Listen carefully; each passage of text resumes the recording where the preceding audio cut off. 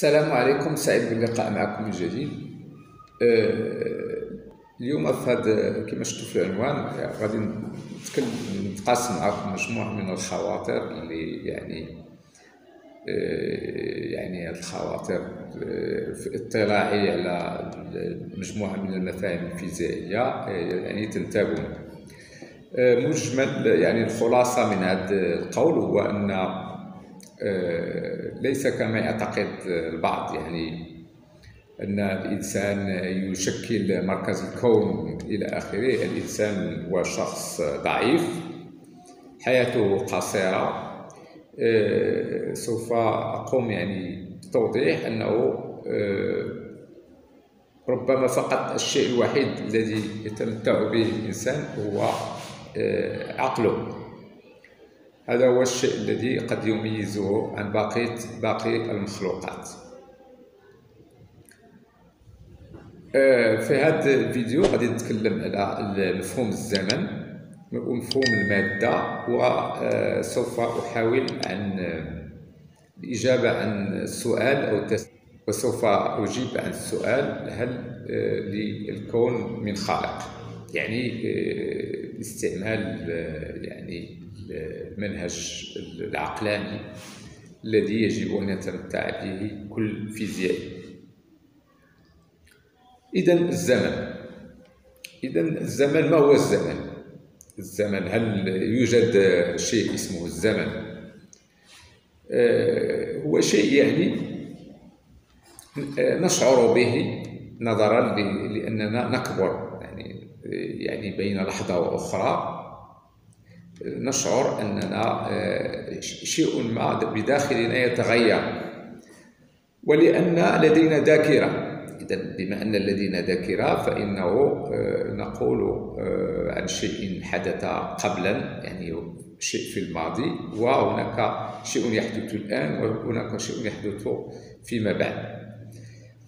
وجميع جميع يعني الظواهر الفيزيائية تحدث عبر شيء يسمى الزمن يعني. ونشعر بالزمن أيضا نظرا لكون هناك تعاقب ما بين الليل والنهار. آه، نشعر بأن هناك شيء يعني يتطور. إذا هناك يعني زمن.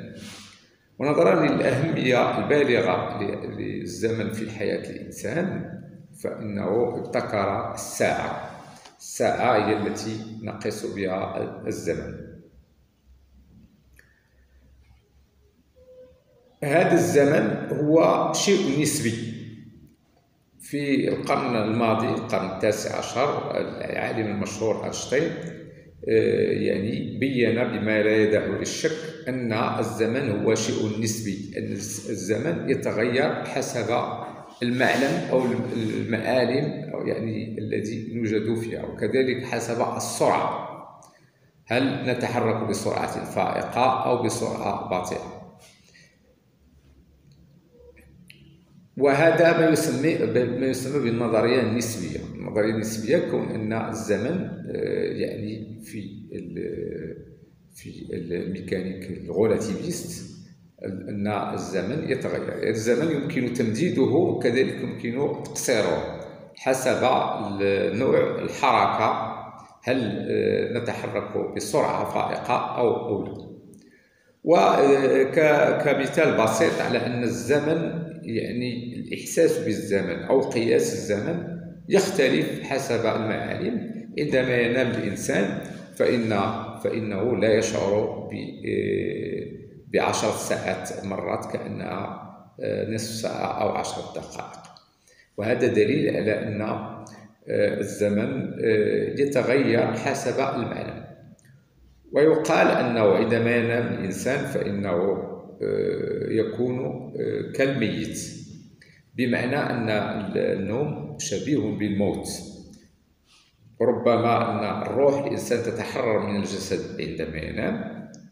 حتى يعني يرتاح الجسد وعندما تتحرر الروح فإنها لا تشعر. يعني الفترة التي ينام الإنسان كأنها بضع دقائق. وأيضا يعني يذكر في القرآن الكريم فيما معناه في يوم كان مقداره مئة ألف سنة مما تعدون وهذا دليل على أن الزمن هو نسبي؟ حسب النظرية النسبية لهذا العالم أينشتاين. حياة الإنسان هي مجرد آه، تمديد كالمطاط كالمطاط الذي يتمدد يعني أن الله سبحانه وتعالى أنه آه، مدد العمر. مدد العمر الإنسان آه، لكي يشعر بأنه يعيش فترة طويلة. 80 سنة أو 60 سنة أو 200 سنة هي بمقدار آخر في معلم آخر كأنها ثانية أو بضع ثواني. إذا هذا دليل على أن العمر ديال الإنسان قصير. والدليل كذلك الآخر على أن هذه الحياة الإنسانية تافهة. كون أنه بعض الأسماك تعيش أكثر من 400 سنة. بينما معدل عمر الإنسان لا يتجاوز 100 إلى 120 سنة. إذا هذا فيما يخص الزمن المادة المادة التي يتكون بها جسم الإنسان هي مادة تتكون من ذرات. هذه الذرات يعني شبيهة بالذرات التي توجد في الكون. هذا دليل على أن الإنسان يعني أصله من الكون يعني من, الأرض. هناك آه، يعني معلومة علمية تقول بأن آه، في الذرة 99.99% مجرد فراغ والباقي هو المادة. إذا مهما تكون ضخامة آه، شخص معين فإنه إذا قمنا بسحب الفراغ الذي يوجد في الجسم في جسمه فإننا سوف نحول ذلك الشخص إلى مجرد نقطة. إذا هو مليء ب في حقيقة الأمر هو مليء بالفراغ.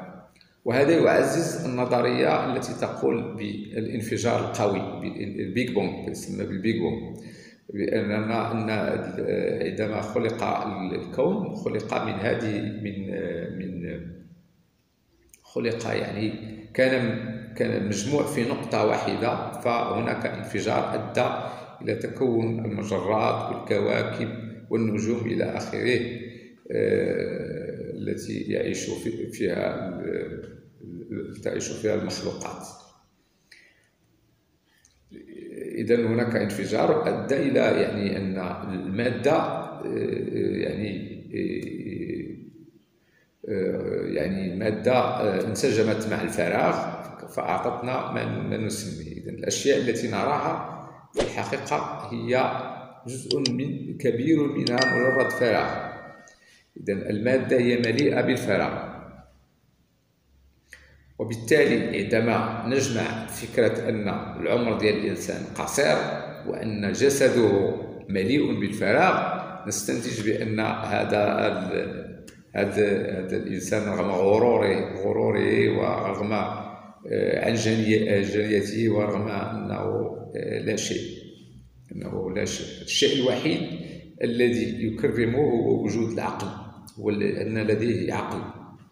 وأيضا لديه روح. هذه الروح هي آه، مخلوق إلهي. إذا نأتي إلى السؤال الأخير. هل من خالق للكون؟ هل يحق لنا أن نتساءل يعني كفيزيائيين؟ هذا السؤال؟ طبعا يحق لنا وهذا شيء يعني مذكور. يجب أن نتدبر في الكون ولكي نستنتج بأن للكون خالق. سوف أعطي مثال بسيط حتى يفهم الكل. عندما ترى منزلا جميلا مبنيا بطريقة جيدة إذا تقول بأن هذا المنزل قد يعني بناه فلان. نفس الشيء إذا نظرنا إلى الكون. هل هذا الكون أليس من من من هذا الكون من باني مثال آخر. إذا نظرنا إلى الساعة قلت الساعة التي نقيس بها الزمن. هذه الساعة هي آه، لحد الآن. آه، يعني أس يعني أدق ما يمكن تصوره. ورغم ذلك أقول بأنه مع مرور الزمن لا بد أن هذه الساعة مهما كانت دقتها فإنها سوف تتأخر أو تتقدم قليلا. هذه مجرد ساعة خلقها الإنسان. إذا نظرنا إلى المجموعة الشمسية التي نعيش فيها نحن هي هناك الشمس وهناك الأرض والكواكب التي تدور حول الشمس. الأرض تدور حول الشمس منذ ملايير ملايير السنوات ورغم ذلك فإنها لا تتأخر في دورانها حول الشمس. إذا الأرض مثل الساعة. ولكنها أكثر أكثر دقة إن لم نقول بأنها دقيقة يعني يعني ب يعني بشكل مثالي. لا تتأخر. في دورانها حول الشمس. وكذلك القمر الذي الذي نقيس به الزمن يعني الذي يدور حول الأرض. إذا هذه الساعات لا يمكن أن تكون هذه الدقة هي محض الصدفة. نفس الشيء احتمال أن يكون ذلك المنزل الذي وصفته في الأول. أو الساعة التي وصفتها. احتمال أن احتمال أن أن تكون يعني اجتمعت أجزاؤها بشكل يعني عرضي يعني يعني هكذا. احتمال منعدم. نفس الشيء. لا يمكن أن أن تدور أن تدور الكواكب حول الشمس بهذه الدقة المتناهية.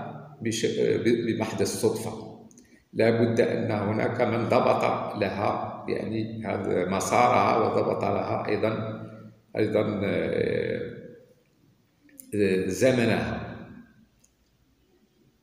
دائما. ونحن فيزيائيين دائما آه، يعني نعتمد على آه، مبدأ يسمى السببية باللغة الفرنسية يسمى لا كوزاليتي أنه المجال المغناطيسي نقول أن التيار الكهربائي هو الذي خلقه.